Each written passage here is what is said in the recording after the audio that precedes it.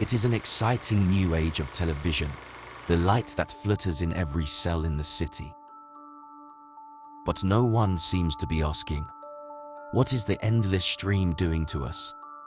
David Thomson, a leading film critic, explores what happened to us as we sought consolation under lockdown by becoming a society of binging creatures. Learn more about Remotely, Travels in the Binge of TV by David Thomson at yalebooks.com.